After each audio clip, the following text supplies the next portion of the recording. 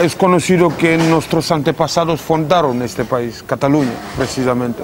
El fundador de esta capital, de esta ciudad, se llama Joan Barca y es más negro que un carbón. Joan Barca, el fundador de, Barcelona, es un negro. La patrona que venera Cataluña es una negra, es la moreneta. Muchas de las cosas que se hicieron aquí se han hecho a base de nuestro sudor, de nuestra sangre. Si Gaudí hoy es famoso, es debido para unos que les financiaron, que eso sí obtuvieron su fortuna en la venta de seres humanos, que eran esclavos negros. Todavía tienen monumentos aquí en todos estos países. Y no hay ni siquiera ningún monumento para la edificación de, la, de su propia historia con nosotros.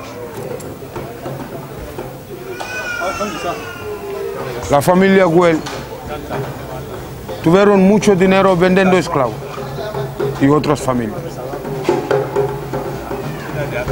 La Renfe fue financiado en parte para el dinero con el dinero de la esclavitud. En la junta directiva no hay ningún negro. No hay ningún negro importante en esta empresa. Con tanto que hemos contribuido por voluntad o, contra nuestra voluntad este país, ¿qué es lo que nos, nos da? ¿Qué es lo que nos da? Nosotros no somos carne de cañón, no somos bestias, somos seres humanos. Exigimos el respeto hacia nosotros. En los centros de internamiento hay más africanos que, que otra, eh, de otros continentes. ¿Eso es debido a qué? Porque simplemente no, no contemplan nuestros derechos. Hay un abogado de defensa que está compinchado con el fiscal que te están eh, presionando, con el juez que lleva el caso para que te expulsan y sin derechos. Esto, decirme en qué país que se quiere de justicia democrática que aplica esto. ¿Cuántas veces tengo que renovar mis papeles después de 15 años de vivir en un país? ¿Cuántas veces? Al final se convierte en una tortura. Ya te decía, las infraestructuras en nuestro continente, los presidentes que están puestos ahí, ¿eh? esta gente son marionetas de Europa. No estiman a su país. Porque si estimaran su país, lo primero que hacen es hacer valer su soberanía. Un país soberano no puede servir a otro país soberano. No. Nuestra soberanía no está protegida. Nuestra soberanía está alegada a otras soberanías. Nacimos en un país en lo cual tu propia cultura eh, se convierte en segundo, en segundo plano. Y eso con los presidentes que tenemos actualmente en nuestros países.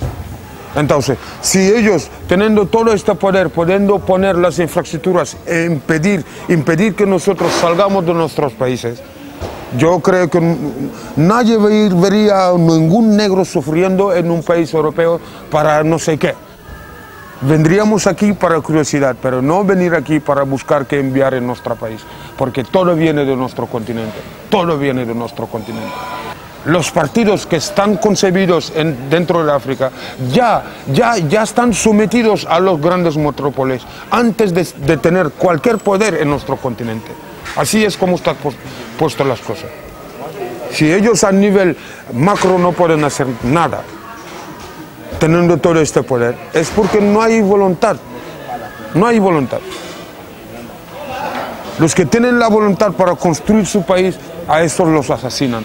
Y si ahí tengo una gran lista de esta gente, como lo es Tomás Sankara, o Samurai Machel, o Lumumba, o esta gente, les matan, les matan.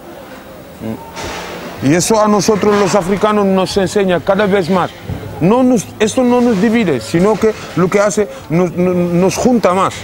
Aquí no solo somos senegaleses, somos africanos, venidos de, de, de, muchas partes de África. Y aquí tenemos una identidad propia, que somos todos africanos negros. Esa es nuestra identidad. Yo no tengo nacionalidad definida en África. a pesar de nacer en un punto. ¿Por qué? Porque esta, esta nacionalidad es falsa, es impuesta. La gente son senegaleses porque les han impuesto de ser senegaleses. La gente son cameruneses porque les han impuesto de ser cameruneses. Nos estamos dando cuenta de estas falsas barreras que han puesto entre nosotros para mantenernos divididos.